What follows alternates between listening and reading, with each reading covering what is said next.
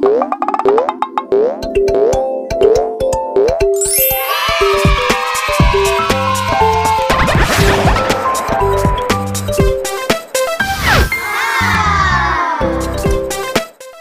and wild animals.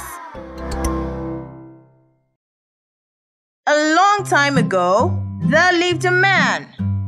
He had a lot of animals in his house. These animals living in the house are called domestic animals. Every day, the man will go round to see his animals. He had a dog, cat, horse, fowls, parrots, and goats.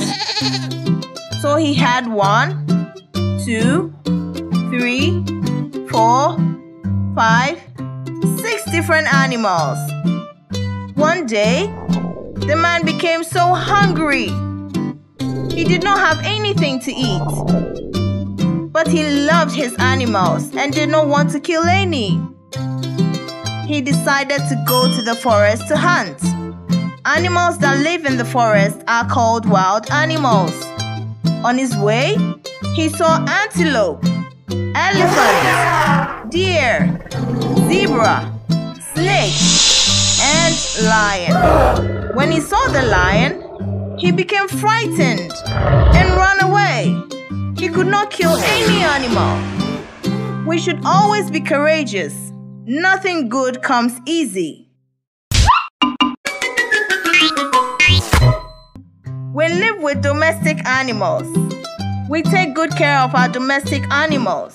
This is how to take good care of domestic animals. Domestic animals we don't want in the house live in a pen. Animals that live in a pen are sheep, goats, cattle, and so on. Provide a clean and protected environment. Always keep clean drinking water for animals. Feed a quality diet.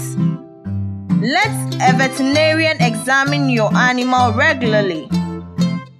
These will make domestic animals healthy and strong. Bye bye.